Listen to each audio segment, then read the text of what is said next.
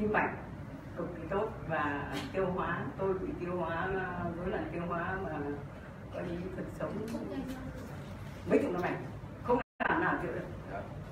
không làm nào chữa được thế mà tôi chỉ lăn bằng cái cầu gai này và cầu gai gai, gai nhựa kia Sừng sừng. cái sừng cái lăn lăn chủ yếu cái vùng này, này Bác lăn như nào? Bác lăn cái vùng này này cái vùng này này. vùng này về Cạnh cạnh. đấy đây đấy. Càng lăn nhiều càng tốt. Ví dụ như buổi sáng mình lăn 300 vòng trưa 300 tối 300 nhưng mà mình càng lăn nhiều thì càng tốt. Thì tự nhiên thấy mình khỏe lại bình thường. Bây giờ rất bình thường. Đấy bọn tôi mới học cao 17 xong. Vừa. Bây giờ bác đi phân là bây giờ Vâng ạ. không ạ. Bác lăn bao lâu thì có kết quả như vậy? tôi ờ, tôi không biết là bao nhiêu lâu nhưng mà tôi từ hôm từ hôm mua cô Hương bán cho cho đến bây giờ vừa qua thì tôi lại cho với người khác bị tim mạch Rồi cái này hôm nay tôi phải đi mua cô Hương. À, trước bác giờ cho ai chữa tim mạch chưa? tôi chưa cho ai chữa cả vừa rồi ông anh cũng bị tim mạch bị đi đặt đen thế tôi mang tôi tặng ông ấy À, tặng ông cái này. và để ông ấy. nhưng mà tôi thấy là bác học cái này giờ chắc được được một tháng thì mấy? từ hôm tôi nghiệp là Tháng. 12. Tức là bác lăn cái này trong vòng một tháng là bác đi phân sống. Hết. À, phân sống là bao nhiêu năm rồi? vườn sống của tôi phải đến hơn hai chục năm nay rồi Hai chục năm. Mà bây giờ bình thường rồi. vâng bây giờ bình Ờ, thường dưới năm đấy. này dưới năm cùng Tốt đây, 25 phân sống lăn cái này trong vòng này trên đây một tháng. vùng đại tràng Đây là quản cầu đinh của diễn trần. Lăn đây. đây là lăn vùng đại tràng ở trên tay. Thì chính là cái ờ, mà các hệ thống phản chiếu của mình đang học đấy. À, dưới năm vùng đại tràng và và tiểu tràng trên à, biểu hiện trên bàn tay. Lăn một ngày mấy lần tôi lăn ba lần nhưng mà có lúc nào dỗi tôi lại lăn tiếp.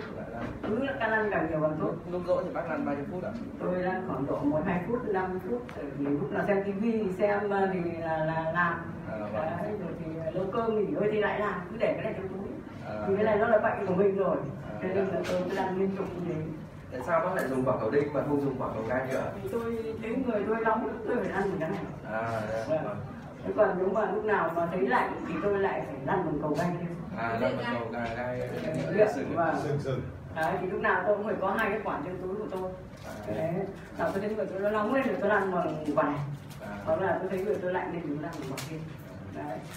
rồi, đến- bây giờ của tôi hơn 20 năm đi phân sống rồi nhưng mà bây giờ tôi lăn thế này là Nặng không vâng các bác cứ lăn vào vùng đại tràng này này và tiểu tràng này tiểu trường này này cái hậu môn này này thì chắc là tôi nghĩ là không bao giờ bị nữa quá. Vâng, vâng. Bác thấy đi học thầy hội giờ có lãi chưa? ơn thầy hội rồi Rồi, cảm ơn bác và chúc mừng bác nhé. Cảm ơn. Phải nói là hôm mà à, bác Thịnh đi học mà nhìn cái danh sách xong nhìn năm sinh là tôi hơi ngạc nhiên bố ô bác ờ, đúng ờ, bác sinh năm bao nhiêu nhỉ? 41 À bác bác sinh năm 49, phụ nữ mà đi học thế là cũng rất là giỏi đấy. Và vừa rồi lại còn có bác Huyền Thu nữa cũng ờ, hơn 70 tuổi.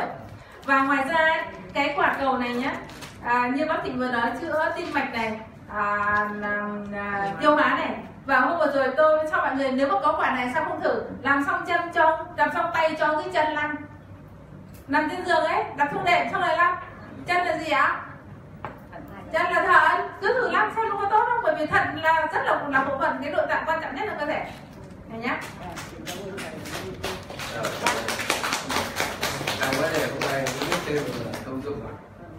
Mà. mình cũng phải nói là mình à, từ khi nghe bác Huyền Thu nói là mình cũng lăn, và mình thấy tim của mình rất là ổn. Ngày xưa nó cứ hay bị đau, hay bị khó chịu, hay bị mệt. Mà từ khi lăn đến giờ cũng thấy ổn lắm hết đấy.